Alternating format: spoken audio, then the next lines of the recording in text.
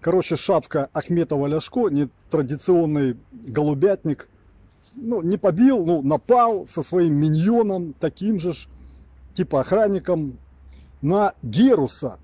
И вот посмотрите, что это супер неописуемая маразматическая ситуация, сложившаяся на сегодняшний день в Украине. Почему и война? Почему вообще вся эта херня происходит?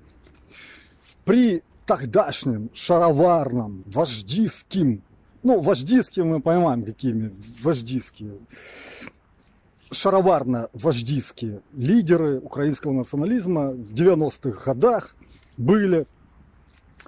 При нем прием, при которых Ахметов, Сепар, непосредственный сотрудник Путина. Для схемы Путин Ахметов захватил всю энергетику Украины. Может, почти, я там не сильно спец. Ну, практически, как журналисты говорят, всю. И качает условия, чтобы украинцы и все, правительство украинское ходило на побегушках кланяться к Путину, великому этому царю, странному царю Путину, который уже начинает под, подотсасывал Китаю. То есть у великого царя Путина Китай забирает территории, будучи те территории де юров в Российской Федерации, а де-факто уже в Китайской Федерации. И российскими поездами вывозят туда лес, все энергоресурсы. То есть под что? Под то, что или ты давай нам вот так вот, втихаря, сдавай территории под Китай, или мы их просто у тебя заберем, просто отберем, и тогда тебе будет стыдно перед всем миром. А так тебе не стыдно, все нормально, по договореночке натягиваешь путирашку Путинскую Федерацию, отдаешь Китаю. Вот так поступает Китай, вот так поступил и Ахметов в Украине. Ну ладно, там мы говорили об Украине до 2014 года. Там, где вообще полный шароварняк, полная маразматея, полный патерналистический непотизм, массы рвотно совковые, тупые, ничего не соображающие. Медиа скуплены все тем же самым, ну не все, там, наполовину поделенные олигархами, Ахметовыми. Кто-то там у Бенич что-то оказалось, который говорит, что да я и красным, и белым давал, свадьбу Малиновки делал в Украине. Так же, как и Ходорковский говорит, я давал деньги, помогал и красным, и белым, буквально коммунистам и провидцы. Чтобы они грызлись между собой, а он в это время зарабатывал. Ну и нормально. Чтобы они были отвлечены, ну, биомасса, вот эта, которая называлась национализмом, была отвлечена вот такой грызней, чтобы задовольнивала свои, свою предстательку, так сказать. И вот они догрызлись до 2014 года. Но теперь что то уже на шестом-то году война, и там, где говорят, что вот нельзя идти против России, потому что ядерная держава, ну, обожите, ну, в славянство взяли, шли против России, шли, ну, Путиновская федерация, шли, взяли славянские, все нормально, шли бы и дальше, если бы не Порошенко, если бы не пришел Порошенко со своими подручными Ахметовыми и тому подобное, те, которыми, которым ему было привычно – в свое время, будучи в уряде того же Януковича Урки, позорного Урки, позорной урятины, который сдал, продал, то есть даже в тех местах бы его просто замочили, потому что это продажная гнида, свинья продажная. И вот со всем этим энергетическим лохмотребием кто-то собирается проводить, проводить рынок земли чтобы этот рынок земли превратился в энергетический рынок. Кто скуповывает? У кого бабло? У кого бабло? У кого энергетика? У того, у кого энергетика.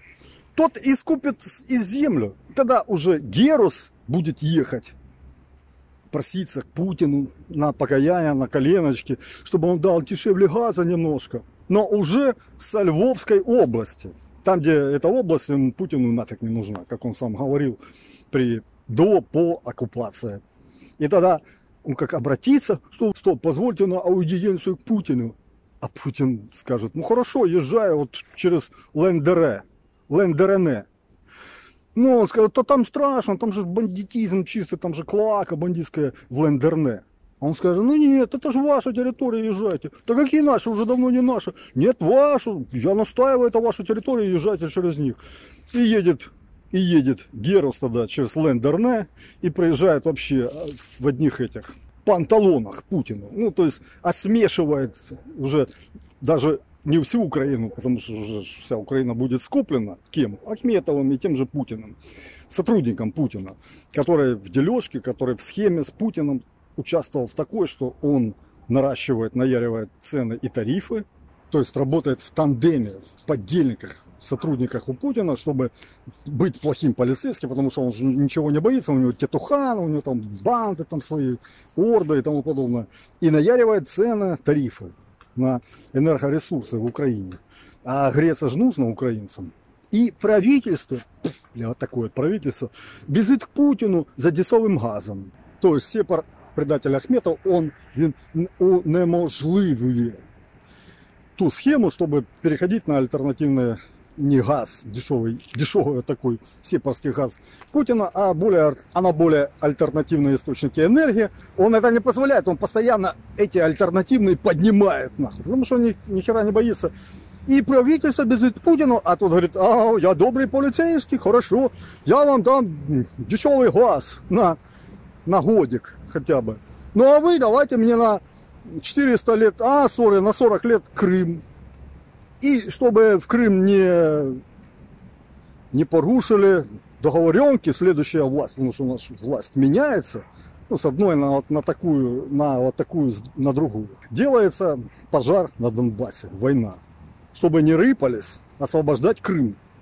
Когда придет другая, более-менее какая-то, которая осмелится освободить Крым, власть украинская, чуть-чуть проукраинская хотя бы. А Олюхи, бывшего царя, Николаш, Николая, бывший феодализмов, там, короче, и тому подобное, уже, тоже не важно, потому что, потому что магдебургское право в одно ухо влетело, в другое вылетело, и осталось вот такое все везде. Взять область, там, где он курировал, этот Ляшко, плохой человек. Это ж Олешковский район там какой-то, когда-то репорт делал, что там водила выкинул, ну или она сама якобы типа вышла, да, мы знаем, как они сами выходят ребенок, потом он замерз в лесу насмерть. Вот. Это ж в его Олежковском районе, Ривенская какая-то область, там тотально вынищивают землю украинскую себе на карманы, выкапывая, блин, бурштын. Себе на карман. А этот Ляшко кричит, защиты, Герус, деньги, летишь, летаешь, куда-то там летаешь. А в его районе, в этом Чаморошном, Ляшковском, районе творятся вот такие вещи. Просто уничтожается земля, бабки идут кому-то куда-то на карманы и не на войну даже. То есть полный капец, там даже слов нет, не, не о чем даже говорить абсолютно. Это вообще полный, полная деменция и полный делириус. Но самое противное, самое блин, положение состоит в том, что, блин, это всем нравится. Потому что, ну, тупые олухи, пост биомасса, пост-рабы, они смотрят те телеканалы, которые скупил тот самый Ахметов. Там первые раньше, сейчас не знаю, там Украина и тому подобное. Украина я называл. То есть он скупает телеканалы, на них делает, делает свои подставные уткофонды, так и Хвонд Ахметова, который, блин, проводит чувствительной чувстве, с такой музыкой трагической, такой жалостливой передачи, что он едет куда-то вот недавно, буквально случайно переключил, смотрю, в Константиновке где-то женщина осталась на серой линии размежевания. Да, это, блин, помогать нужно, конечно, но кому нужно? Это что, получается, если Чикатило там, или другой там державный зрадник, или как вот в Америке сажали, там, который продал секрет атомной бомбы коммунистическому режиму. Или другие преступники. Он создает свой фонд, и все жалобливо так вот, все, да, он с этого фонда делает пиарские жалобливые передачи, и все млеют над ним, да, какой он хороший, блин, цветочки, тетешки, помогаем, три копеечки, а то, что из-за него война, из-за Сепара Ахметова, произошла из-за такой вот схемы, что он скупает, скупил, сделал там сепарский, сепарскую клоаку, партию регионов, которая за отделение этих территорий Донбасса Путиновской Федерации террористической. на это как бы никто ничего не обращает. И до сих пор внимание. Вот же в чем маразм. Бойцы гибнут, отдают свою кровь на фронте, защищая Украину, суверенную Украину, как и ООН УПА защищала, так же, как и бойцы, простые, простые ребята, люди. Бойцы Красной Армии защищали Украину, тогда не суверенную совковую Украину, коммунистическую, но с тем, что она потом, что вот там враг в телевизии, в телебачении сказала, вот там враг, вот как в армии нас учили там вот какие-то маневры, там, занимать сопки, вот там французы, там итальянцы, там англичане, вот ну, такая идеологическая установка. Думаю, нихера себе, вот это маразм, блин. Ну, чтобы, ну, все же понимали, что это туфта чистая. Ну, хер с ним. Понятное дело, что все это распалось.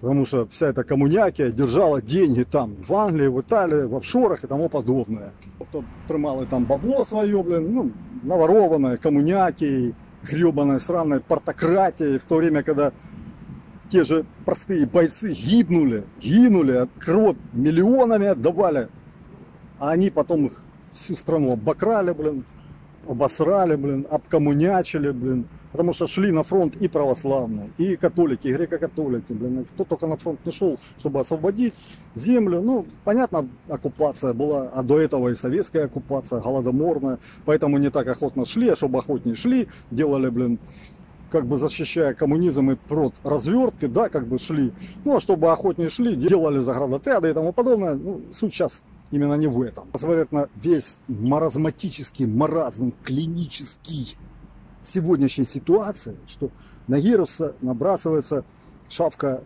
Ляшко, шавка Ахметовская. Выходит, а он сам летит, а этот с охранником, со своим миньоном, который накидывается, чтобы сделать себе пром-пиар ролик, чтобы понтануться, чтобы опять на выборы когда-то прийти, сука. То есть выходит, что у Зеленского что? Нет силовиков теперь, что он вынужден бегать через Геруса, попрошайствовать энергию для Украины, для предприятия Украины, чтобы э, была какая-то энергетическая блин, там, независимость, там, э, чтобы реформы проваджувати, как и было обещано, выполнять свои обязательства. Значит, выходит, что или силовики в сговоре с Ахметовым, Значит, тогда их нахер менять нужно, этих силовиков. А потому что они никакие. Потому что они, это, блин, ярмо, оно тянет только вниз. Блин. Или получается это какая-то тупая политика самого Зеленского, который не понимает в чем-то, недопонимает. Но это же 2 ну, плюс 2, видно, что это же против его власти действует. Скоро, так же как быстро, скоро и Порошенко сдавал территории, которые были вообще не под оккупацией. Не было там ani сепара, ani российского, российско-путиновского рашки, путирашки сапога. А он их сдал в договоренке за свои барыжные интересы, которые в России и в Крыму. То есть я не думаю, что бы Зеленский согласился из президента Украины стать просто ну, шавка губернатором какой-то Галиции или Одесской области назначенным, потому что его ж там по-любому никто не изберет. Потому что он сам впроваджует, проводит такую политику, что немощные силовики, так же как и силовики, такие силовики Ющенко в свое время сдали прокуратуру, школу со всем этим сепаровским движением Януковича, блин, а уже шли ВВ, внутренние войска в Киев, чтобы бучу сделать какую-то, отобрать Украину. Нет, не отобрал, потому что никакой. И сейчас вот этот никакой, то же самое сидит у Зеленского, тоже никакой. Получается, что опять на поклон Путину за дешевым энергоресурсом, там, газом, шмазом, чем угодно, при том, что он не может у себя, в своей же Украине, украинцы своей же Украины не могут подвинуть этого или национализировать этого Ахметова, который прибрал абсолютно незаконно в свое время через Кидалова, через там взрывы там на стадионах, там Брагина, Ахмата, Ахмета. Короче, через силовое давление бандитское, уркагатское. Это было через подставные суды, то все это можно поднимать, если кто хочет юрисдикцией этой заниматься. Казуистикой вот этой. Но сначала нужно забирать энергоресурсы, чтобы в Украине они были, ну, конкурентоспособные перед другими, даже вообще лачебными странами, в которых вообще нету и намека на столько энергоресурсов. И то же самое будет с землей, с рынком земли. Будет через летать через латифундов, через лендернерию. Будет стучаться Герус. Лендерне, пустите меня проехать у Путина на коленках газ попросить. Лендерне, пустить мене.